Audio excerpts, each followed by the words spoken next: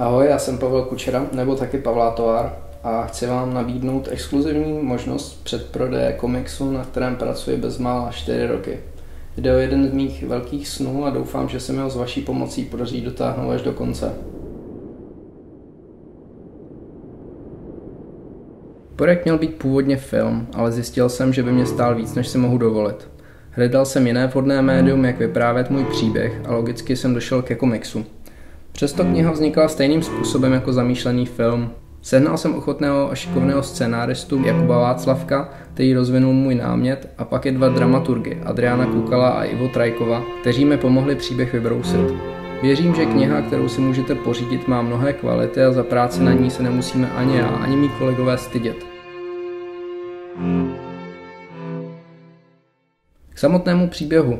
Jedná se o science fiction z Československa v období okupace 1968. Příběh nese množství historických faktů, reálí a jsem si jistý, že bude zajímavý nejen pro běžného komiksového čtenáře, ale i třeba pro antropology, historiky a pamětníky, zejména proto, že příběh je určený spíše pro starší čtenáře.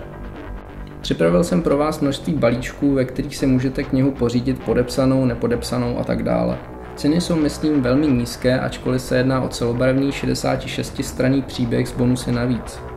Rád bych touto formou vybral peníze na tisk a když se věc podaří, budu se těšit na viděnou na křestu komiksu, který plánuji dělat v Praze.